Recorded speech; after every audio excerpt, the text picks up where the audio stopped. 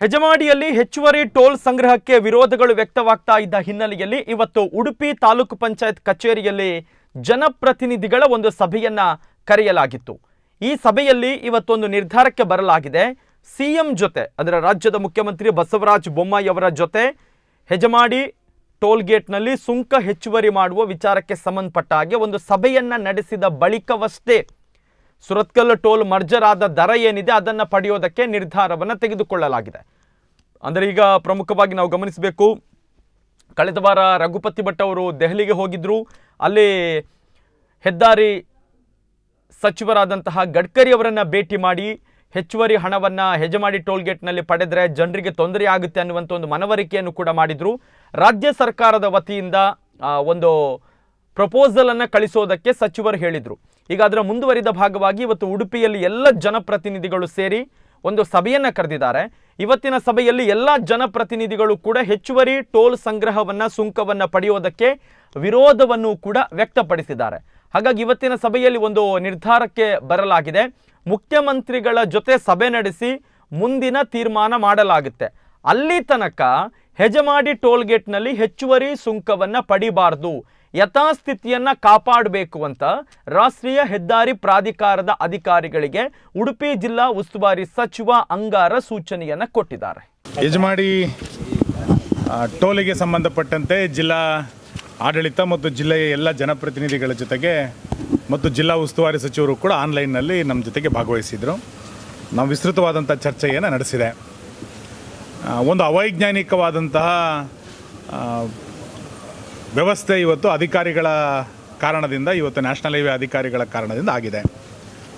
ಸುರತ್ಕಲ್ ಟೋಲನ್ನು ರದ್ದು ಮಾಡುವಂಥ ವೇಗದಲ್ಲಿ ಅದರ ಇಡೀ ಭಾರವನ್ನು ಯಜಮಾಡಿ ಟೋಲಿಗೆ ವರ್ಗಾಯಿಸುವಂಥ ಆದೇಶಗಳು ಇವತ್ತು ಬಂದಿದೆ.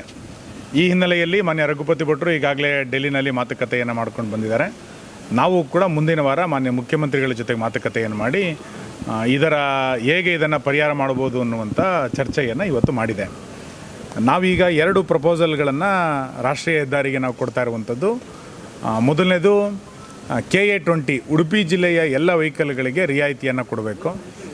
ಯಾವುದು ಮೂಲ ಯಜಮಾಡಿನಲ್ಲಿ ಮೊದಲು ಹಣವನ್ನು ಸಂಗ್ರಹ ಮಾಡ್ತಾಯಿದ್ರು ಅಷ್ಟಕ್ಕೆ ಮಾತ್ರ ಸಂಗ್ರಹ ಮಾಡಬೇಕು, ಹೆಚ್ಚುವರಿ ಹಣವನ್ನು ಸಂಗ್ರಹ ಮಾಡಬಾರ್ದು ಅನ್ನುವಂಥದ್ದು ಮೊದಲ ಪ್ರಸ್ತಾವನೆ. ಅದು ಗ್ರಾಹಕರದಿರ್ಬೋದು ಅಥವಾ ಕಮರ್ಷಿಯಲ್ ಆ್ಯಕ್ಟಿವಿಟಿ ವೆಹಿಕಲ್ದು. ಕೆ ಎ ಟ್ವೆಂಟಿ ಎಲ್ಲದೂ, ಎಲ್ಲದಕ್ಕೂ ಕೂಡ ರಿಯಾಯಿತಿಯನ್ನು ಕೊಡಬೇಕು.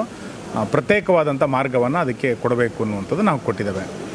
ಎರಡನೇದು ಈಗ ಏನು ಇದಕ್ಕೆ ಸುರತ್ಕಲ್ಲಿನ ಪೂರ್ತಿ ಹೊರೆಯನ್ನು ಇದಕ್ಕೆ ವರ್ಗಾಯಿಸಿದರೆ, ಅದನ್ನು ಯಾವ ರೀತಿ ಇದನ್ನು ನಿಭಾಯಿಸಬೇಕು ಅನ್ನುವಂಥದ್ದನ್ನು ದೆಹಲಿ ಹಂತದಲ್ಲಿ ಮಾತುಕತೆಯನ್ನು ಮಾಡಿಕೊಂಡು, ಆ ಹೊರೆಯನ್ನು ಯಾವ ರೀತಿ ಕೇವಲ ಯಜಮಾಡಿಗೆ ಮಾತ್ರ ಅದನ್ನು ಹೊರಿಸದೆ ಬೇರೆ ಯಾವ ರೀತಿ ರಿಯಾಯಿತಿಯನ್ನು ಕೊಡ್ಬೋದು ಅನ್ನೋದನ್ನು ಉನ್ನತ ಮಟ್ಟದಲ್ಲಿ ಅದನ್ನು ಅಧಿಕಾರಿಗಳ ಜೊತೆ ಚರ್ಚೆಯನ್ನು ಮಾಡಿ ಮಾಡಬೇಕು ಅಂತಾಗಿದೆ. ಅಲ್ಲಿಯ ತನಕ ಹೊಸ ಸಂಗ್ರಹವನ್ನು ಮಾಡಬಾರ್ದು ಅನ್ನುವಂಥದ್ದನ್ನು ಕೂಡ ನಾವು ಈಗಾಗಲೇ ಜಿಲ್ಲಾಡಳಿತದ ಕಡೆಯಿಂದ ಮಾತಾಡಿದೆ. ಮಾನ್ಯ ಉಸ್ತುವಾರಿ ಸಚಿವರು ಅಂಗಾರ ಅವರು ಇವತ್ತೇ ಮುಖ್ಯಮಂತ್ರಿಗಳ ಜೊತೆ ಮಾತಾಡ್ತೀವಿ ಅಂತ ಹೇಳಿದರೆ ನಾವೆಲ್ಲ ಶಾಸಕರು ಕೂಡ ಮಾತಾಡ್ತೇವೆ. ನಾವು ತಕ್ಷಣ ಲೋಕಸಭಾ ಸದಸ್ಯರ ಜೊತೆಗೆ ಮಾತುಕತೆಯನ್ನು ಮಾಡಿ ಡೆಲ್ಲಿಗೂ ಕೂಡ ಭೇಟಿಯನ್ನು ಕೊಟ್ಟು ಇದರ ಸಾಧಕ ಬಾಧಕಗಳು ಮತ್ತು ಇದರ ಹೊರೆ ಯಾವ ರೀತಿ ಆಗ್ತಾ ಇದೆ. ಸುರತ್ಕಲ್ ಟೋಲ್ ರದ್ದಾದ ಕೂಡಲೇ ಅದರ ಹೊರೆಯನ್ನು ಇನ್ನೊಂದು ಟೋಲಿಗೆ ಒರೆಸುವಂಥದ್ದು ಯಾವ ಪದ್ಧತಿಯೂ ಕೂಡ ಆಗಲಿಕ್ಕೆ ಸಾಧ್ಯ ಇಲ್ಲ. ಇದು ಅವೈಜ್ಞಾನಿಕವಾಗಿ ಆಗಿದೆ ಅನ್ನುವಂಥದ್ದನ್ನು ಕೂಡ ಡೆಲ್ಲಿ ಹಂತದಲ್ಲಿ ಅದನ್ನು ಮನವರಿಕೆ ಮಾಡಿಕೊಡ್ಬೇಕು ಅನ್ನುವಂಥ ತೀರ್ಮಾನವನ್ನು ನಾವಿವತ್ತು ತೆಗೆದುಕೊಂಡಿದ್ದೇವೆ. ಅಕ್ರಮ ಅಂತೇಳಿ ಆದರೆ ಆ ಅಕ್ರಮವನ್ನು ಮತ್ತೆ ಹಂಚಿಕೊಳ್ಳುವ ಅಗತ್ಯ ಉಂಟಾ ಅಲ್ಲ ಸುರತ್ಕಲ್ ಅಕ್ರಮ ಅನ್ನುವಂಥದ್ದು ನಾವು ಹೇಳಿಲ್ಲ. ನಾವೇನು ಹೇಳ್ತಾ ಇರೋದು ಅಂತಂದರೆ ಅವತ್ತು ಆ ಇಪ್ಪತ್ತೈದು ಕಿಲೋಮೀಟರ್ ವ್ಯಾಪ್ತಿಗೆ ಏನು ರಸ್ತೆ ಆಗಿದೆ ನ್ಯಾಷನಲ್ ಹೈವೇಗೆ. ಇದನ್ನು ಅವತ್ತಿನ ಎರಡು ಸಾವಿರದ ಹದಿನಾಲ್ಕು ಎರಡು ಸಾವಿರದ ಹದಿನೈದರಲ್ಲಿ ಅವತ್ತಿನ ಸರ್ಕಾರಗಳು ಕೂಡ ಮಾಡಿತ್ತು. ಅವತ್ತಿನ ಜೀವ ಇಶ್ಯೂ ಆಗಿದೆ, ಅವತ್ತು ಒಡಂಬಡಿಕೆಯಾಗಿದೆ. ಎರಡು ಸಾವಿರದ ಮೂವತ್ತೈದರ ತನಕ ಒಪ್ಪಂದಗಳ ಜೀವಗಳು ಇವತ್ತಿಗೂ ಕೂಡ ಇದೆ. ಅಲ್ಲಿ ಇನ್ಯಾವುದೋ ಒತ್ತಡದ ಕಾರಣಕ್ಕೆ ಅದನ್ನು ರದ್ದು ಮಾಡಬೇಕು ಅಂತಾಗಿ ಆ ಹೊರೆಯನ್ನು ಇವತ್ತು ಬೇರೆ ಟೋಲಿಗೆ ಒರೆಸುವಂಥದ್ದು ಅವೈಜ್ಞಾನಿಕ ಅನ್ನುವಂಥದ್ದು ಸ್ಪಷ್ಟ ಇದೆ. ಇದನ್ನು ಯಾವ ರೀತಿ ಪರಿಹಾರ ಮಾಡ್ಕೊಳ್ಬೇಕು ಅನ್ನುವಂಥದ್ದನ್ನು ಡೆಲ್ಲಿ ಹಂತದಲ್ಲಿ ಮಾತುಕತೆಯನ್ನು ಮಾಡ್ಕೊಂಡು ಬಗೆಹರಿಸ್ಕೊಳ್ತಾರೆ ಜನರು ಯಾವಾಗದವರೆಗೆ ನಿರಳ ಆಗಿರ್ಬೋದು ಎಲ್ಲಿ ತನಕ ಮಾತುಕತೆಗಳಾಗುತ್ತೋ ಅಲ್ಲಿ ತನಕ ನಿರಾಳ. ಮತ್ತು ಯಾವುದೇ ಕಾರಣಕ್ಕೂ ನಮ್ಮ ಜಿಲ್ಲೆಯ ಜನರಿಗೆ ತೊಂದರೆ ಆಗಬಾರ್ದು ಅನ್ನುವಂಥದ್ದು ನಮ್ಮೆಲ್ಲರ ಅಭಿಪ್ರಾಯ ಕೂಡ ಆಗಿದೆ. ಆ ಹಿನ್ನೆಲೆಯಲ್ಲಿಯೇ ನಾವು ಕೆ ಎ ಟ್ವೆಂಟಿ ವೆಹಿಕಲ್ಗಳಿಗೆ ಯಜಮಾಡಿಯ ದರ ಏನಿದೆ ಅದನ್ನು ಮಾತ್ರ ನಿಗದಿ ಮಾಡಬೇಕು ಅನ್ನುವಂಥದ್ದು ಕೂಡ ಇವತ್ತು ಚರ್ಚೆ ಮಾಡಿ ಚುನಾವಣೆ ಎದುರಿರುವಾಗ ಇದು ಸಾರ್ವಜನಿಕರಿಗೆ ಇದು ಚುನಾವಣೆ ವಿಷಯ ಅಲ್ಲ ಇದು. ಇದೇನು ಅಂತಂದರೆ ಈ ಹಿಂದೆ ಎರಡು ಸಾವಿರದ ಹನ್ನೆರಡು ಹದಿಮೂರರಲ್ಲಿ ಅವತ್ತಿನ ಸರ್ಕಾರಗಳು ಸುರತ್ಕಲ್ ಟೋಲಿನ ಕುರಿತಂತೆ ಒಪ್ಪಂದವನ್ನು ಮಾಡಿಕೊಂಡು ಎರಡು ಸಾವಿರದ ಹದಿನೈದರಲ್ಲಿ ಇದು ಜಾರಿಗೆ ಬಂದಿದ್ದು. ಅವತ್ತು ಮಾಡಿರುವಂಥ ತಪ್ಪನ್ನು ಇವತ್ತು ನಾವು ಹೊತ್ಕೊಂಡಿದ್ದೇವೆ. ಆದರೆ ಅದಕ್ಕೆ ನಾವು ಬೆನ್ನು ತೋರಿಸೋ ಪ್ರಶ್ನೆ ಇಲ್ಲ. ಅದನ್ನು ಯಾವ ರೀತಿ ಸರಳೀಕೃತ ಮಾಡ್ಬೋದು, ಅದನ್ನು ಯಾವ ಪರಿಹಾರ ಮಾಡ್ಬೋದು ಅನ್ನೋದು ನೋಡಿಕೊಂಡು ಅದನ್ನು ಪರಿಹಾರ ಮಾಡುವಂಥ ಪ್ರಯತ್ನ ಮಾಡ್ತೇವೆ.